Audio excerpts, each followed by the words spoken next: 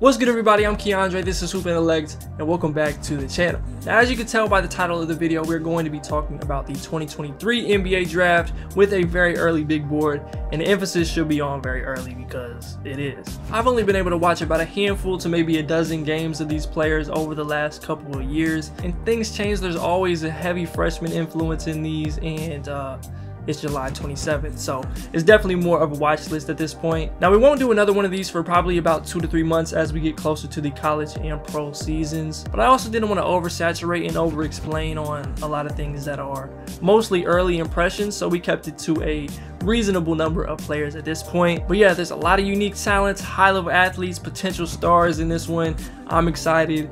Be sure to leave a like, subscribe if you are new, and let's go ahead and get into it. So there will be a ton of names on the screen here soon as there should be at this point. I went back and forth about how long to make this video, but I shortened it to 35 players just to keep it reasonable at this point. But guys like Yohan Traore, Eric Gaines, Jett Howard, Mike Miles, Tyrese Hunter, Marcus Sasser were all in the top 45 version. And I also like players like Ricky Council headed to Arkansas, Rayan Rupert going to the New Zealand Breakers, and Bobby Klintman out of Sunrise headed to Wake Forest. You've also got older guys like the Oscar Tshiebwe, Kris Murray, Kevin McCullar, Jalen Wilsons, that should be staples in the college game at the very least, and sophomore returners such as Emoni Bates, Matthew Cleveland, Jordan Hawkins, Alex Fudge, Trey Alexander, and others who will all have a great chance to break out. Sidy Cissoko is the first European-born prospect to join the G League Ignite program, and he'll add to what's already a very interesting and unique cast of players around Scoot Henderson. He's a 6'7 wing out of France, fluid athlete, can handle it some, Shooting is a work in progress, but he'll certainly be one to watch as a potential first round pick over the next year. Julian Phillips is another big time prospect headed to Tennessee. Phillips played at what might be a new powerhouse in Link Academy last year and was a McDonald's All American. It's a 6'7 athletic wing with the tools to be dynamic on both ends. Definitely one worth keeping your eye on when the season comes around, and someone I think could end up much higher than this. Terrence Arceneaux is the first of two Houston freshmen we'll talk about in this one. Arceneaux is a four-star recruit out of Beaumont, Texas who makes an impact on the wing at 6'6". He does his most significant work defensively and as a slasher offensively. I think he's been underrated in a lot of ways in terms of the rankings even after being a standout in the EYBL last year. And whether it's this year or potentially next year, I think he has first round type of ceiling. JJ Starling already has significantly more buzz than the Branhams and Wesleys who were underrated one and dones last year, and he was of course a McDonald's All-American, but he should probably be in more draft conversations than he has been to this point. He's a dynamic shot-making guard at 6'4 coming out of La Lumiere, then headed to Notre Dame, and I'd also say he for sure has first round type of potential. Judah Mintz is a 6'4 guard out of Oak Hill headed to Syracuse. He really popped last summer in the EYBL for me personally, especially some of the things he did in his matchup against Shaedon Sharpe. He's a crafty guard, a playmaker who can shoot it a little but excels from the mid-range and has great upside defensively. A definite high-level guard to keep tabs on out in the ACC. Akron's own Chris Livingston is headed to Kentucky. He was a McDonald's All-American as a 6'6 wing, played with Oak Hill as a senior, and going forward has a lot to like, especially defensively, as an athlete, and with some of his creation. I'm unsure what type of role he'll take on this year under Coach Cal, but I'm excited to see where his game is at to this point. Julian Strawther is a pretty safe bet at being someone with the Christian Braun, Wendell Moore type of upperclassman stock this year. He got off to a great start last year in what was his first real featured season with Gonzaga. Solid season overall, but I think he'll be in the first round mix in 2023 as a complimentary wing with high shooting upside. Kyle Filipowski is a super skilled big heading to Duke and a major piece of Jon Scheyer's first recruiting class. At 6'10", 6'11", he's a big time shooter, can pass it and handle it some as well. I don't have the strongest opinions on him right now. Really got to watch him in the 3 on 3 a couple years ago and some of his post grad stuff last year. But I'm curious to see how he works next to Lively next year, especially defensively, and everything else will go from there. 6'10 big man James Nnaji is one of the better international talents in a pretty strong class of them. He's a good athlete, solid lob threat, physically developed, who really makes his mark defensively for Barcelona. Became the youngest player ever to put up 5 blocks in a game in the ACB at just 17 years old. Lottery type upside in the best case scenario, and he should be a fun player to watch going forward. At about 6'10", Adem Bona is a tremendously athletic center out of prolific prep, headed to UCLA. He just started playing a few years ago and it shows at times. But his recent performances in the U20s for Turkey has been terrific, and I guess he'll be in the convo for top bigs outside of Wemby. Amari Bailey has been one of the more popular high school players of the last several years after making that move out to Sierra Canyon, He's a high energy lefty combo guard at 6'4 headed to UCLA. He's aggressive, good downhill with great upside defensively, and we'll see what his minutes and outside shot looks like in Westwood next year. Australian guard Tyrese Proctor was originally set to join the Duke Blue Devils as a member of the 2023 high school class, but he instead classed up, and I think he should be on 2023 draft radars. He's got excellent shot creating potential, high level upside as a shooter, solid feel as a passer that I like as well. I'm a big fan of his game, and I think he brings an element that's a little different than what you usually see from Duke's guards. He performed well in the Asia Cup this summer, and hopefully we'll see him continue that going into the fall. While I was watching for Nikola Jovic and later Karlo Matkovic, Nikola Jurisic proved himself to be as good a prospect as anyone else on this team in my opinion. He's a 6'8 wing out of Serbia with high level ball handling, passing, and defensive upside. He just won MVP of the Adidas Next Gen Tourney U18s. And if he can grow as a shooter and finishing off plays, I think it'll be tough to keep him out of that lottery area. Nate Oats and Alabama have yet another big time recruit coming in next year in Brandon Miller. Miller is a 6'8 wing out of Tennessee, ranked in the top 10 to 15 of most scouting services. He's got a smooth game, good athlete who can handle it a little, scores well from the mid range, has the potential to grow as a shooter from three, and is versatile defensively. He's got a lot of the tools that you're looking for at his position. Now, Leonard Miller was one of the late risers of the 2022 draft class when it was announced that he'd be draft eligible, but he decided to take his talents to the G League Ignite for a year, and I think that's perfect for a guy as talented, but still with some necessary high level development to be had. He's a 6'10 lefty wing creator who has shown the ability to handle the ball, make plays for others, and has the tools to be a problem defensively. I'd expect some up and downs, and it'll be interesting to see how he's used, but he's a fun player to watch, if nothing else. I would expect to see a good portion of the guys in the top 20 of this list in the first round or so of the draft next year. Obviously, these are far from foolproof if you follow the channel or just follow the draft in general, but if there are any names to remember, these are a lot of the guys. Dillon Mitchell is an explosive high motor forward or wing headed to Texas out of Mount Montverde Academy.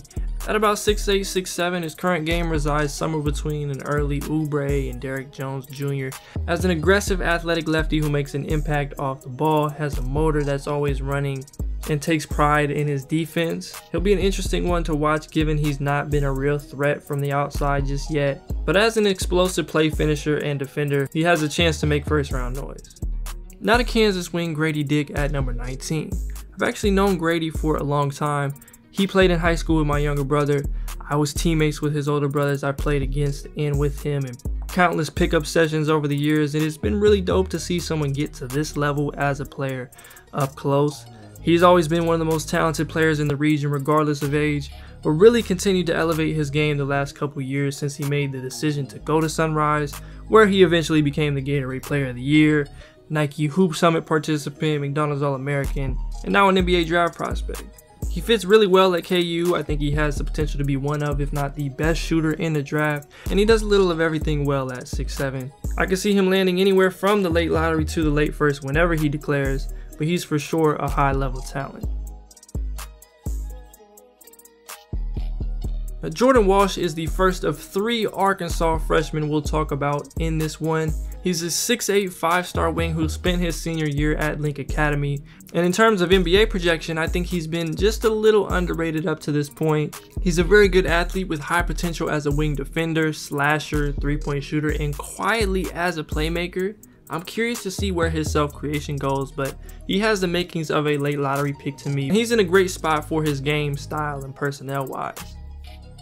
Terquavion Smith should be a very familiar name if you followed the channel this past year, but in case you haven't, the 6'4 guard out of NC State proved himself to be what I felt was a first round talent as someone who was an electric pull-up shooter and lightning quick athlete. He chose to go back to school for another season, which I think could really work in his favor. If he can continue working on his body, improving as a finisher and on defense, I'm pretty confident he'll be in the lotto discussions and will ultimately have made a great decision going back to college for a year. A 6'10 a 6'10", 6'11 wing with a 7'3 wingspan and great fluidity. Baba Miller is kind of the quintessential Florida State prospect. He's been in the Real Madrid program for the last several years, but will be under the tutelage of Leonard Hamilton next season, which will also get him a few more NBA eyes just due to proximity in the States. He's still very raw, only about 205 pounds, but there's a lot to like with his upside in a similar way as a guy like an Ousmane Dieng. I haven't seen but a handful of games from him, but he's definitely high on my watch list this upcoming season. Now Gregory aka GG Jackson is a 6'9 forward from Columbia, South Carolina. Originally ranked 6th in the 2023 high school class, recently just decommitted from UNC, decided to reclass and go to South Carolina this fall, and he will be draft eligible next year. From what I've seen from a little bit of Team CP3, his state championship, in the FIBA America's U18 stuff a few months ago, there's definitely a lot of potential there, and he's one to keep your eye on in the SEC. There are very few prospect program pairings I like more than Jarace Walker and Kelvin Sampson's Houston Cougars. Walker is a 6'8 forward out of IMG Academy who is a great athlete and has some encouraging creation and passing flashes at his size that add to his appeal as a prospect. I think he can become an elite defender playing for Coach Sampson, and if we can tweak his jumper just slightly, he has eventual high-level NBA player written all over him. We started the NIBC in an ad hoc form. Oh yeah, it's like Drew Felios in a Sunday morning YMCA game, man. Duke's Dereck Lively has widely been considered the number one player out of this high school class. He's a listed 7'2 with a 7'7 wingspan and the ability to block shots with the best of them. He also has solid potential in space, encouraging abilities as a shooter and as a lob threat. He has some moments where he kind of floats and isn't the most physical guy, but he's got a lottery type of upside and anyone who could potentially give you that rim protection and floor spacing combination is going to draw a lot of eyes. Rising Creighton sophomore Arthur Kaluma had some eye-catching performances down the stretch of his freshman season, and especially against the eventual national champion Kansas Jayhawks. And I think he has a great chance to carry that into next season, and to be honest, he already kind of has playing with Uganda in the World Cup qualifiers. It's clear he's really been working on his game, might have figured some things out offensively, his control and pace looking better and better. He's simply got great potential as a 6'8 forward or wing who can make an impact on both ends of the floor. Anthony Black is another big time piece of Arkansas's upcoming stacked roster. He's a 6'7 point guard who has a knack for setting up his teammates. He's got high level defensive potential along with being pretty quick and creative for his size offensively. Now, shooting is a huge swing skill for him. If he takes the next step there and it shows during his freshman year, I think he could end up a top 5 to 7 guy. That's the type of ceiling that I think he has. On the flip side of that, it could be the reason he falls some from this area of the draft. But I'm very excited to watch him run the show next year, and he's one of my early favorite players from this class.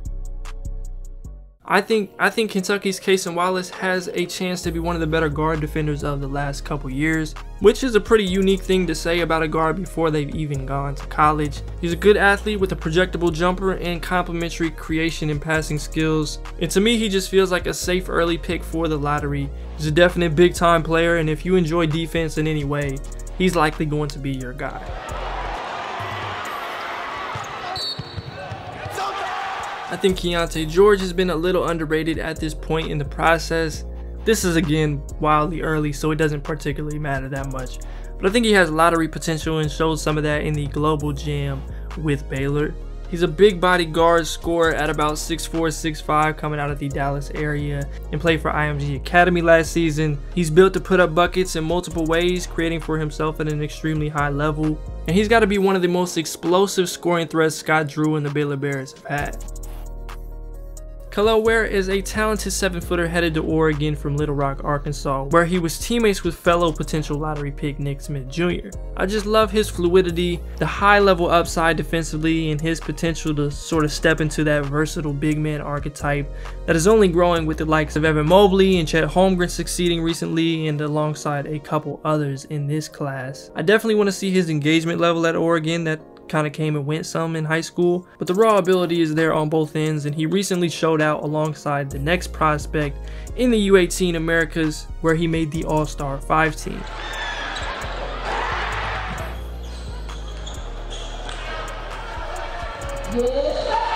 That next guy is another potentially great player out of the DMV, and that is Villanova's Cam Whitmore. And Cam could very well put his name into that top three conversation by the time next June comes around. He's another super athletic wing at about 6'7 who recently dismantled the competition in the FIBA Americas and won MVP. He's someone who has the tools to be a high level two way wing as he continues to progress as a shooter and creator, but overall it's hard not to like who Cam has shown himself to be so far. And if you needed a reason to watch the Big East next year, he's your guy. Now coming in at number 6 we have Ausar Thompson, but I felt like we might as well talk about both of the twins at the same time. Now the OTE situation isn't ideal, at least in its infant stages as an organization, but them being this high is a testament to the type of potential they possess, and they do still represent some of the potential changing of the guard for American born paths to the league. They're both about 6'6", 6'7", with unbelievable athletic abilities, quick twitch, explosiveness first step, all off the charts. And they're both really going to need to improve as shooters and just perimeter players over time. That's something I think could drastically swing things in terms of their draft projection. The big separators for Ausar he wears number zero. He's a bit better defender, gives you more pressure at the point of attack, and was more willing to take mid ranges, shoot off the bounce, hesitated less from three, and has better touch to keep things simple. And then ranked number three, wearing number one. Amen has a lot of the same elements, great anticipation defensively, not quite the same level on the perimeter, and not as willing as a shooter yet, but he's more inclined as a playmaker, and he does some absolutely wild things in that area. He's also a bit stronger, and I'd give him the edge athletically. Ausar was a bit more impactful impactful last year, but Amen has a higher ceiling to me as a ball handler, potentially being a point guard, and that's what's gone into their current ranking. I'm not glued to either one, and in the macro, they're still wildly similar, but that's hopefully a decent intro into who they are as players. They're good bets to go in the lottery, and best case scenario, the both of them could end up in the top five. Off the game clock, play to a target score. Amen Thompson. Oh, okay. Oh, wait a minute!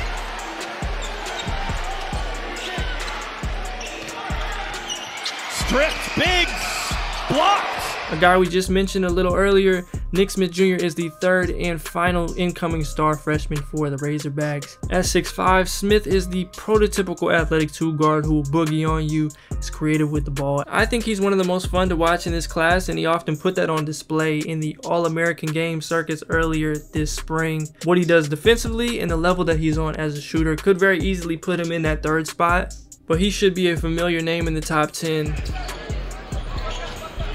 With all the different paths to the NBA present in this class, you can still bet on Duke having a guy in the mix at the top of the draft, and this year that's Dariq Whitehead. Dariq played at Montverde for what felt like forever considering he was teammates with everyone from RJ Barrett to Cade Cunningham, Scotty Barnes, Moses Moody, and Precious Achiuwa over his high school career. But at 6'6", 6'7", he's a great athlete who has the potential to be high impact defensively versus multiple positions. He's been progressing as a shooter and scores the ball at a very high level. Should be a focal point for Duke next year and a candidate for the top parts of the draft. right now, third. At the moment, I see most of everything else as up for grabs, the top two being the most appealing prospects out of this group. And at number two, we have Scoot Henderson. Scoot is a hyper athletic guard at 6'2", 200, who spent last year as a member of the G League Ignite, classing up and playing part of the season at just 17 years old.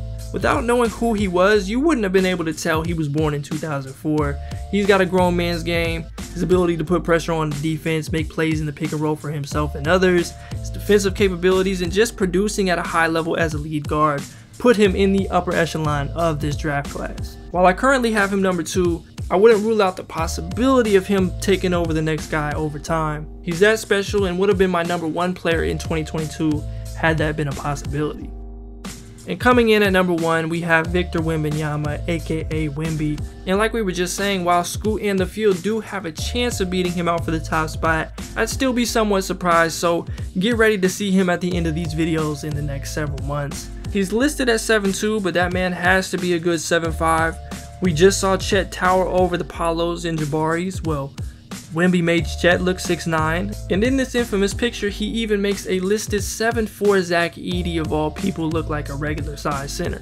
The physical attributes combined with his level of fluidity, some of the shot creation, shooting ability, passing, and the ability to be an absolute presence defensively both around and away from the basket make him truly ridiculous. We have ourselves what could possibly be the most unique prospect ever. And this is no slight to Chet, but Wemby outclassed him in the U19s last year in a way that had me questioning this year's number 2 pick, when it was really more about the level of guy that Wemby is and can be. He recently left Tony Parker's squad in a surprising move over to the Metropolitans to lower competition level, which is interesting, but the eyes will follow him and we'll look to see him keep progressing, especially as a shooter and a scorer.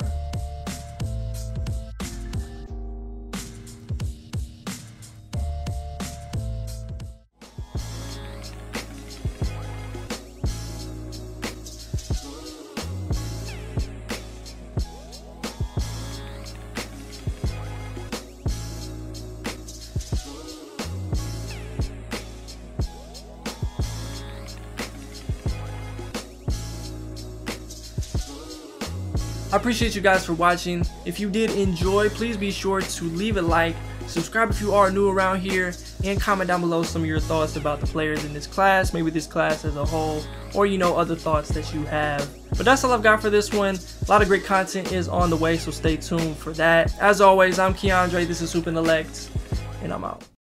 I need mine up front, no in if you really bout it. Can be your motivation, I can be the one you call at the late nights on the grind.